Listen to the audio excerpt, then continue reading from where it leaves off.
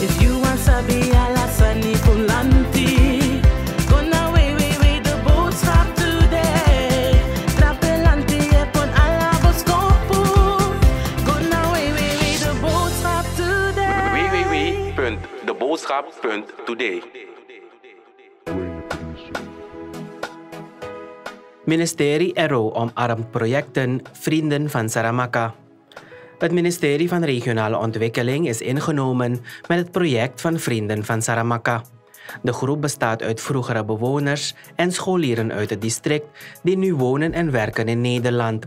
Ze uiten hun liefde voor Saramaka door geld in te zamelen voor projecten ten bate van scholieren in het district. Met die gedachte hebben de vrienden van Saramaka ondertussen een project geïnitieerd om de slechte sanitaire situatie op de scholen in het district te verbeteren. De voorzitter van de vrienden van Saramaka, Anand Isri, zegt dat er eerst een proefproject wordt uitgevoerd op de openbare school Yarikaba.